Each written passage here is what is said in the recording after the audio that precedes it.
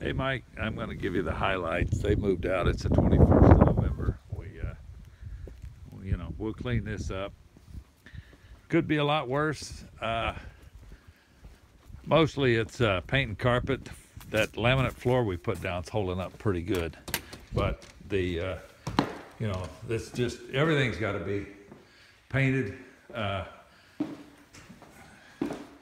the, uh, bathroom, little work in the bathroom. We can save that carpet, but this carpet and the master carpet's gotta, gotta go. Um,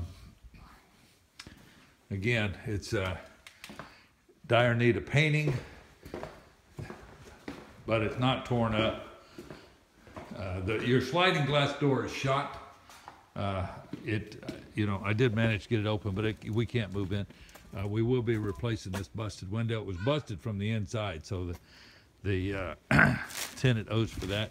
We had to do a little work on the fence. It's got uh, some damage there, and then a missing board or two, but not a big deal, Mike. We'll get it cleaned up for you and get the house rented pretty quick.